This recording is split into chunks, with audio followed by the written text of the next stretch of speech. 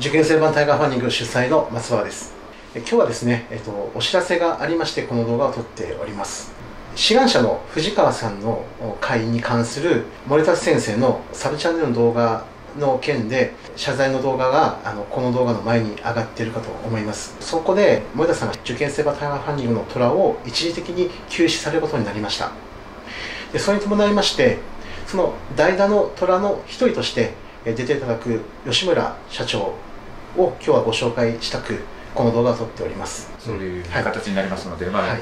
代打という形ですかね。そうですね、また新しい虎の方もね少しあの応募があるので毎回吉村さんというわけにはならないかもしれませんけども僕としてはすごく個人的に仲のいい社長さんでして、まあ、出ていただきたいなっていうところで打診したら快くですねあの引き受けていただいたので、まあ、今後ともぜひよろしくお願いしたいと思うんですけども、はい。と吉村さんがどんな方なのかということについてですね今回この動画を通じて伝わっていければいいなというふうに思ってます。そうですね。僕らも別に知り合いじゃないわけじゃないので、そうですね。あの森田さんのプロデュースのあのベーシスというオンラインの塾にも、まあ、今後吉野さんが力を貸していただけるということなので、まあ、ここの関係性もありますしもともと吉村さんが僕にご連絡いただいたところからそうですね。まあもうすごい僕はあの衝撃を受けた話がいくつもあってで非常にこう仲良くさせてもらって、吉村吉村さんはどんな会社をされてるかちょっと皆さんに簡単に説明してもらってもいいですか？あそうですね、はい。えっ、とはじめまして株式会社ポラリスという会社でまあポラリスアカデミアっていう大学受験のコンサルティングを、えーやってます吉村信弘と申します、まあ、最初ちょうど松原さんの方に直接メールアドレスに本当ダイレクトでメッセージさせていただいて、はい。ちょっと、まあ、書籍とかも読んだことがあったので、はい。あとブレイクスルー佐々木さんの、まあ、パロディされてるのまあ、を見て、まあ、僕は一応オマージュ。あそうオマージュ。はいあれもすごい面白くてで一回ご連絡したらたまたま大阪でっていう。ので知り合いになったんですけど、通常メールいただいてすぐ返さないことが多いんですけど 吉村さん僕ももともとそれこそブレス佐々木さんとのコラボ動画で御社のことを知ってましたのでありがとうございます。すぐ多分すぐ返したと思います。本当当日何時間後かに帰ってきて、はい。で会いましょうみたいな、はい、でもうコロナカットインもあったんでいきなり僕の自宅に来てくれたっていう全然そのお二人が知り合う前から話は聞いてたんですよ。もう松原さんから。ああそうなんもですうこれすごいめちゃくちゃすごいんですっていうのを聞いてたんでやっぱりそのなかなか教育系の会社でもちろんその指導内容も素晴らしいと思うんですけどここまでこうしっかりこうマーケティングはいはいに特化されて、であと CFO でしっかり財務をバチッと固めてで初年度でこんだけ勢いがある。見込み4億ぐらいですよね。あそうですね。4最低4ぐらいです。で来期が10億とかあって、はい。一応年商100億を目指されてる。あ目指してます、ね。はい。妥当。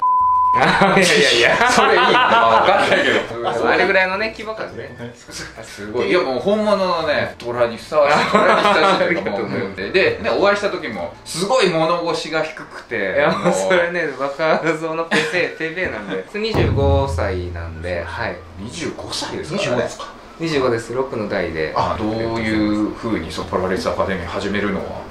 あ始めるのはまあ当初その教育をずっとやりたいなっていうのがあって、京大入った時とかもやっぱり勉強はできるけど、それで東大も言っとかないといけないあねそうですね。京都大学の工学部出身で、はい。そうあの4年生卒業されてしかも多分院に行かれて、はい。そうです。しかも大学院2年生で辞めるっていう謎のへ経歴というか なかなかファンキーだなと思いますね、だから通常ですと M2、まあ、院卒業して、はい。えーまあ、研究職とか大企業に入っていくっていうのがもうルートじゃないですルかーそこからある意味何の後ろ盾もない起業家としてやっていく。僕は早稲田出身なんですけど早稲田の人とかで文系学部の人結構そういう人いるんですよ、はいはいはい。京大工学部でその人いるって聞いたことないですねあんまり。確かに少ないですね、うん。まあ、僕そのレール乗っていってもよかったんですけどやっぱりうん。研究職が好きじゃなかったのと、おうん。体感された教授がそれこそ 僕が途中で研究をほっぽり出してやめたのに、はサイトのなんか太鼓判押しますみたいなところ載せていいいですかって言ったらあれはねやっぱベンくれて。チャーの教育企業ではすごい大事なね本当にすごい後ろ盾ですよね。そうなんですよ。すごい。でもその辞めた理由もあれですよね。結構見た目通り律儀な方で。やっぱり。見た目通り律儀な。全然嬉しいですけど いや本当に誠実な方だと思うんですけど研究職を、まあ、ちゃんと研究を全うできないから辞めたってことですよね。だからあそうです。もうこのまま行くとねちょっと自分的にも、まあ、やりたくない仕事でしかも研究ってね、うん。お金の予算もだいぶ出て、はい。まだ出てない答え探しに行く仕事なんでちょっと厳しいなっていうのがあって、で在学中からいろいろちょっとビジネスやってたので、はい。もうそっちの世界で行くしかないなっていうので、うん。なるほど。教育で行こうと決めたのがもうじゃああ在学中。そうですね。在学中中から営業会社とかやってたんですけど、はいはいはい。で教育に行こうと思ったきっかけはやっぱり京大にいた子供たちとか、まあ、当時の同級生とかが勉強はすごい頑張ったのに京大に入ったらもう人生安泰ルートみたいなで熱を失元からないのか分かんないですけどうん。熱がなくてうん。僕高校時代も野球部で朝6時から朝練とか土日一日中試合とかの中で勉強して受かったんでうん。なんかもっと燃えるものを探してたのもあり、で営業会社やってる時に気合があって営業もできてもやっぱり勉強とかそういう論理的思考力もないと厳しいなっていうのをうん周りのスタッフがなるほど聞いてて思ったんでほそしたら大学受験を通じてその将来役立つようなうん問題解決能力とか、うんそういう論理的な思考とか目標達成力っていうのを鍛えられたらいいよねっていうので大学受験の教育に入ったっていう。なるほど。なるほど。僕も本当に結構思いを共有しているというか、うんうん。あの受験を通じてやっぱ考える力、まあはい。現代文の中心に僕はあの指導力入れてるんですけど、やっぱ大事だと思いますし試験ってまあ日付が決まっててでうん。逆算していく、うんうんうん。どうしてもそこにこう、まあ、縛られるじゃないですか、はい。だから問題の解決能力に加えて目標達成能力っていうところも結構ね研鑽されるからいいなと僕は思ってたところもあるところなんですけど大学生の教育業みたいなことも今後やっていきたいということあそうです。ね高校生教育から中学小学校っていくよりかは大学生社会人って感じで、結構まあ上の層っていうかね、年齢的には。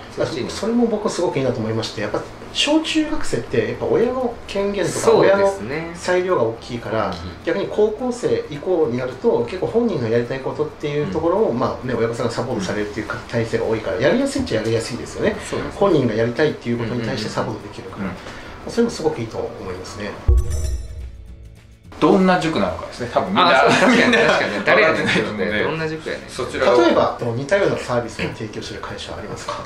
例えば例えばちょっとなんかね燃えさせようとしてる感がすごいあるから。例えばうちの篠原塾はいもすごい似てますねそうですねまあオンラインっていうところもありますし、うん。授業メインじゃないっていうところでそうですね、まあ、コーチングというかね。そうですね。あのコーチング勉強法指コンサルティング。導それは週1回とかでやってらっしゃるんですか？あそうです。週1回多い方は月6回とかですかね。なるほど。で本当コンサルティングなんで、うんまあ、企業向けのコンサルティングを受験生に行ってるようなイメージ、なるほど、うん。うん。売上アップ売上目標じゃなくて志望校合格っていううん、ところでそして僕はさらに細分化してまず英語をクリアしようとかあそうです。ね今月の目標は何点だとか。はあくまで結果ベースで目標を立ててでそれ達成のためにやるべきことを決めてで先週これやりましたか、うんでやったなら結果どうでしたか？でこうすれば何点取れるだろうって一緒に決めたやつで言ってなかったらその理想と現実のギャップが問題点なんで、じゃあ事実ベースで行動をどう変えればうんその点数のギャップが埋まるのか？みたいなそういう問題解決会議って呼んでるんですけど、っていうのを毎週やってるので、なるほど。じゃあその企業のシステムを教育にも、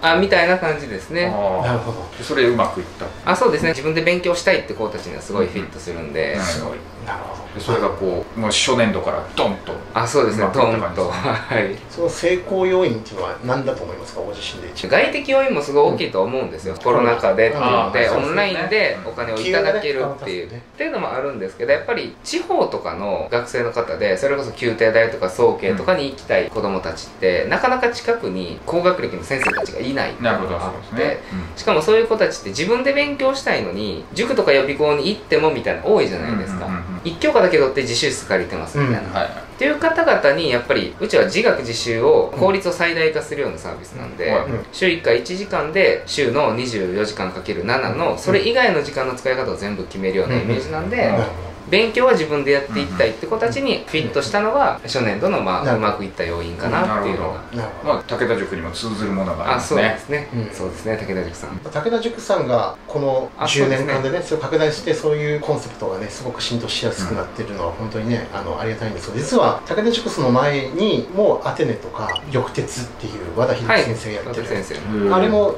実は同じ近いようなことやってて、うんうんですごく緑鉄受けてたことがあるんですよ。あ。だからまさにこう吉野さんがおっしゃってるようなスキームというか考え方っていうのは一番こう受験生にとってメリットがあるなと思ったのでなんか仲間が増えてすごく嬉しいなと思います。まあね仲間なのか食われるのか。あいやいやいや。でもねそ先輩方がね切り開いていただいた道をっていうのはすごいあるんで。あベーシスがねポラリスアカデミーの一部あのもう買っていただきます早い。早い。早い。で最近は YouTube も始めたってことなんで。あそうです。ちょっとねちゃんとちゃんとやったのは本当ここ数ヶ月なんで、はいはい。週2ぐらいですけど。ということでそちらのね、チャンネルの方もはい。貼っておきますので、あチェックお願いします、はい。チャンネルね覗いてもらえたら、はい。はい。ぜひあの受験生のタイガーファンディングよろしくお願いします。あお願いします。はい、今回ね吉村さんにおいでいただきましていろいろと。ありがとうございました、はい、やってください。ありがとうございます